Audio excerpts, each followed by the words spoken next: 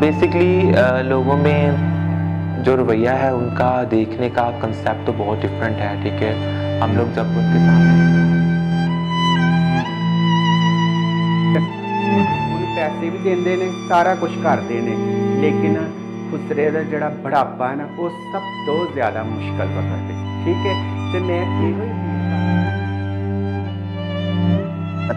चीज़ से रिलेटेड उसमें ये कि फैमिली को बाउंड करें कि वो अपने जो आपका बच्चा थर्ड जेंडर है फीमेल या मेल नहीं है, उसको घर से ना निकाले। अगर वो घर से निकालते हैं तो उनके तो चुपचाप दफना देता कोई ऐलान नहीं होता। तो इसमें लोगों के लिए लोग हक बजानिब हैं कि उनको वाकई ही पता नहीं चलता कि टीजी कोई जिसकी रहती है तो उसका जनाजा हुआ या नहीं हुआ।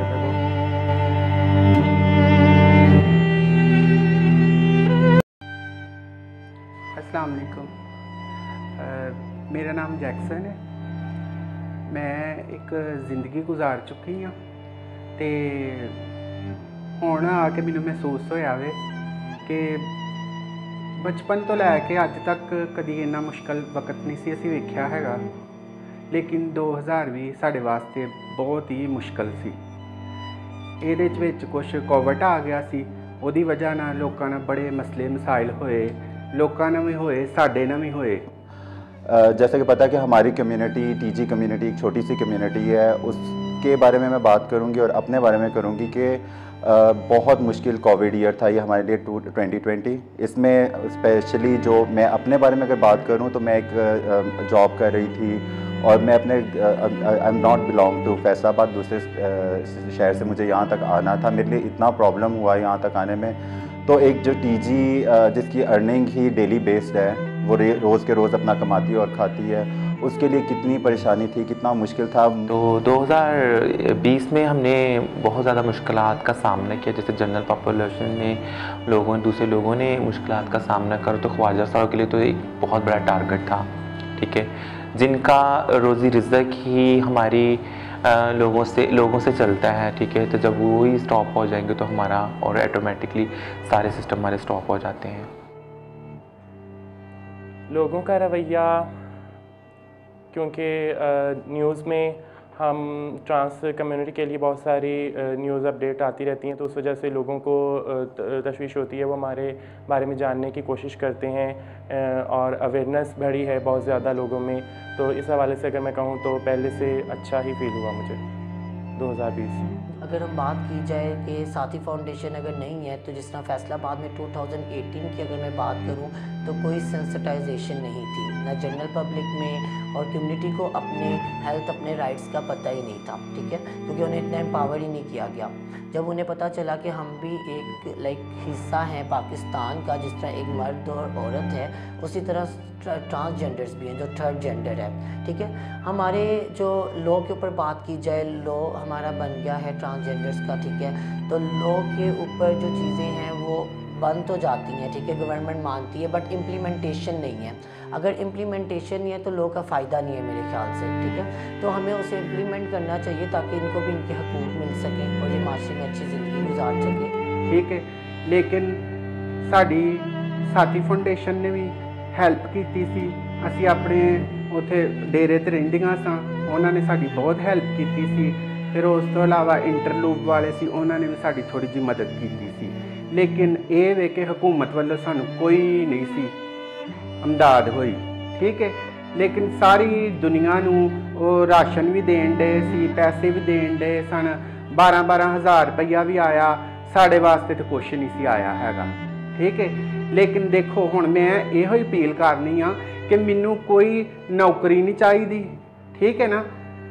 ਸਿਰਫ ਮੈਨੂੰ ਇੱਜ਼ਤ ਚਾਹੀਦੀ ਏ ਜਿਹੜੀ ਸਾਡੀ ਕੋਈ ਨਹੀਂ ਹੈਗੀ ਮਾਸ਼ਰੇ 'ਚ। ਕੋਈ ਵੀ ਇੱਜ਼ਤ ਨਹੀਂ ਹੈਗੀ।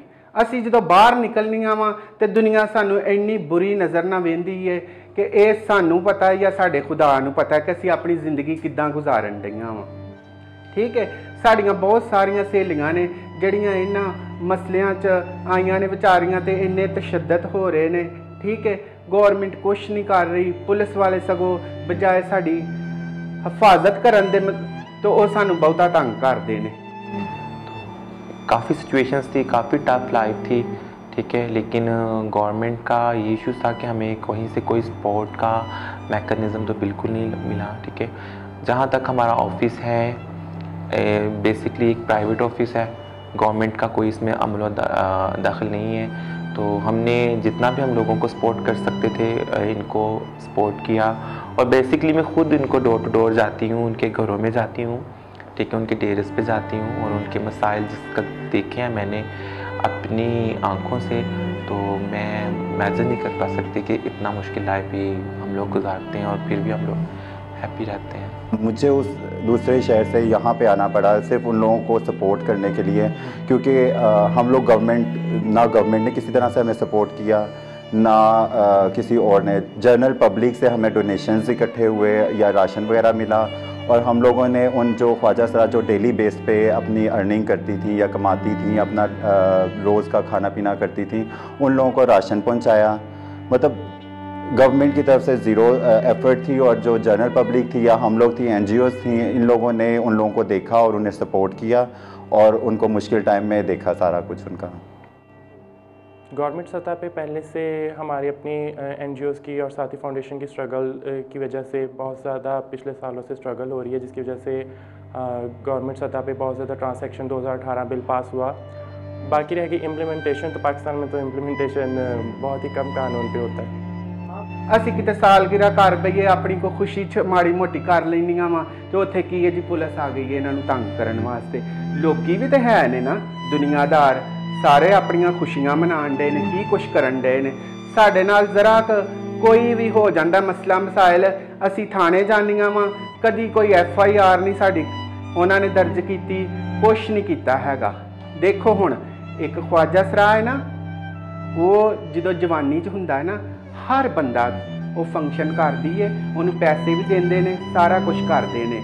ਲੇਕਿਨ ਖੁਸਰੇ ਦਾ ਜਿਹੜਾ ਬੜਾਪਾ ਹੈ ਨਾ ਉਹ ਸਭ ਤੋਂ ਜ਼ਿਆਦਾ ਮੁਸ਼ਕਲ ਵਕਤ ਹੈ ਠੀਕ ਹੈ ਤੇ ਮੈਂ ਇਹੋ ਹੀ ਅਪੀਲ ਕਰਨੀ ਮੇਰੀ ਗੁਜ਼ਾਰਿਸ਼ ਇਹ ਵੇ ਕਿ ਜਿਹੜੇ ਜਦੋਂ ਬੜਾਪੇ 'ਚ ਚਲੇ ਜਾਂਦੇ ਨੇ ਨਾ ਇਹਨਾਂ ਨੂੰ ਨੌਕਰੀਆਂ ਦਿੱਤੀਆਂ ਜਾਣ ठीक है मुश्किल वक्त पे होने साडा जिस तरह चीज़ें आ जाती है अगर हेल्थ के अलावा भी इनके इतने इश्यूज हैं इनके पास रोज़गार नहीं है 2020 में ऑल ओवर द वर्ल्ड जो है कोविड की सिचुएशन ने बहुत बुरा किया तो ऑल ओवर बुरा था बट ट्रांसजेंडर के लिए स्पेशली उनका रोज़गार नहीं है, उनकी एक्टिविटीज़ नहीं है, ताकि वो कमा नहीं सकें तो वो खाएँगे कहाँ से? ठीक है? तो उनके लिए गवर्नमेंट को कोई कोटा या कुछ इस तरह का बैकअप रखना चाहिए, ताकि उनको जो पढ़े लिखे नहीं हैं, उनको भी रिसोर्स दिए जाए, और जो पढ़े लिखे उनको जॉब्स दी जाएँ। और ये पढ़ लिख क्यों नहीं जाते?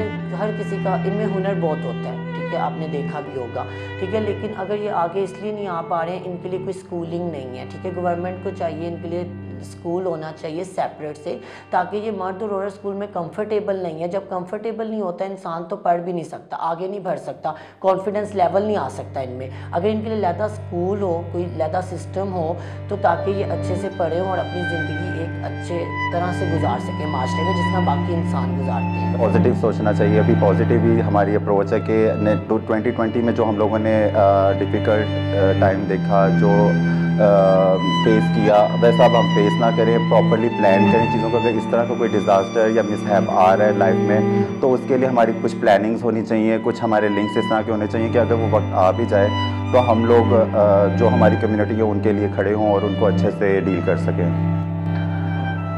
बेसिकली uh, uh, लोगों में जो रवैया है, उनका देखने का कंसेप्ट तो बहुत डिफरेंट है, ठीक है?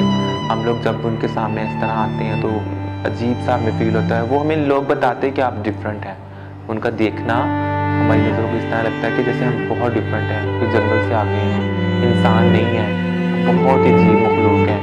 उनकी बात करना, उनका सोचना, उनके सोचने का जो नज़रिया है और उनकी जो ऊपर से होटिंग होती है हमारे लिए बट आई कहाँ एक्सेप्ट कोई भी एक्सेप्ट नहीं करता। हैरान हूँ इस बात पे कि ट्रांसैक्शन 2018 बिल पास होने के बावजूद ऐसी खबरें बड़े तहाशा सुनने को मिल रही हैं, जिसकी वजह से ट्रांस हेरासमेंट ठीक वायलेशन और जितने ज़्यादा टीचर्स की दो हज़ार बीस में आई हैं, पिछले बाकी सालों में इतनी ज़्यादा कभी भी सुनने को नहीं मिला मेरे लिए बहुत ज़्यादा गवर्नमेंट से मुतालबा यही करूँगी दूसरे सिस जेंडर की तरह के as a normal human being हमें भी उतने ही राइट्स हासिल हैं जितने आम नॉर्मल मेल फीमेल को हासिल हैं। तो इम्प्लीमेंटेशन की तरफ़ तवज्जो दी जाए। बिल बहुत पास हो गए, लेकिन असल प्रैक्टिकल मैदान जो है ग्राउंड रियलिटी में देखें तो इम्प्लीमेंटेशन की बहुत ज़्यादा ज़रूरत है। पढ़े लिखे तबके हमें कबूल करने को तैयार नहीं है। अस्पताल में अगर जाएँ तो मैं अपनी एन के हवाले से बात करूँ तो वहाँ पर बहुत ज़्यादा डिस्क्रिमिनेशन का सामना होता है। तो हर जगह पर ही, हर डिपार्टमेंट में अवेयरनेस की ज़रूरत है। तो इनको हकारत की नज़र से देखा जाता है, हुटिंग की जाती है, ठीक है? पहले सादी फाउंडेशन ने जितनी एक्सेप्टेंस दी है आवाम के अंदर, ठीक है पब्लिक के अंदर, उससे काफ़ी फ़र्क आया है। लेकिन वो कहते हैं ना, एक टाइम चाहिए होता है एक्सपैंड चाहिए होता है, जिसमें चेंजेस आती हैं। तो हम उस लाइक टाइम से गुजर रहे हैं और हम अपनी पूरी कोशिश करते हैं ताकि इनको जो है बेस्ट फैसिलिटीज़ दे सकें और बाकी गवर्नमेंट है जनरल पब्लिक है तो एज अ मिल के हम लेकर चलें। ਜਵਾਨੀ 'ਚ ਤੇ ਹਰ ਕੋਈ ਪੁੱਛਦਾ ਸਾਨੂੰ, ਮੁਸ਼ਕਲ ਵਕਤ ਹੋਣ ਤੇ ਮੇਰੀ ਇਹੋ ਹੀ ਅਪੀਲ ਹੈ ਕਿ ਨੌਕਰੀਆਂ ਮਿਲਣ, ਲੇਕਿਨ ਇਹਨਾਂ ਦੀਆਂ ਉਮਰਾਂ ਦਾ ਉੱਤੇ ਕੋਈ ਨਾ ਹੋਵੇ ਇਸ਼ੂ ਕਿ ਹਾਂਜੀ, ਇਹਨਾਂ ਦੀ ਉਮਰ 40 ਸਾਲ ਹੋ ਗਈ ਹੈ, ਇਹਨਾਂ ਨੂੰ ਨੌਕਰੀ ਨਹੀਂ ਮਿਲ ਸਕਦੀ। ਠੀਕ ਹੈ ਨਾ? ਨੌਕਰੀ ਇਹਨਾਂ ਨੂੰ ਮਿਲੇ। ਜਵਾਨੀ 'ਚ ਤੇ ਹਰ ਕੋਈ ਪੁੱਛਦਾ ਹੋਵੇ, ਲੇਕਿਨ ਬੁਢਾਪੇ 'ਚ ਕੋਈ ਨਹੀਂ ਪੁੱਛਦਾ ਹੈਗਾ। ਇਸ ਲਈ ਮੇਰੀ ਗੁਜ਼ਾਰਿਸ਼ ਇਹ ਹੀ ਹੈ ਇਹਨਾਂ ਅੱਗੇ ਕਿ ਉਮਰ ਦਾ ਨਾ ਕੋਈ ਇਸ਼ੂ ਹੋਵੇ। बेसिकली uh, uh, लोगों में जो रवैया है उनका देखने का कंसेप्ट तो बहुत डिफरेंट है ठीक है? हम लोग जब उनके सामने पैसे भी देंगे ने सारा कुछ करते हैं लेकिन खुसरे का जड़ा बुढ़ापा है ना वो सब तो ज़्यादा मुश्किल वक्त है ठीक है? तो मैं चीज़ से रिलेटेड उसमें ये कि फैमिली को बाउंड करें कि वो अपने जो आपका बच्चा थर्ड जेंडर है फीमेल या मेल नहीं है, उसको घर से ना निकाले। अगर वो घर से निकालते हैं तो उनके तो चुपचाप दफना देता है, कोई ऐलान नहीं होता। तो इसमें लोगों के लिए लोग हक बजानिब हैं कि उनको वाकई ही पता नहीं चलता कि टीजी कोई जिसकी रहती है तो उसका जनाजा हुआ या नहीं हुआ।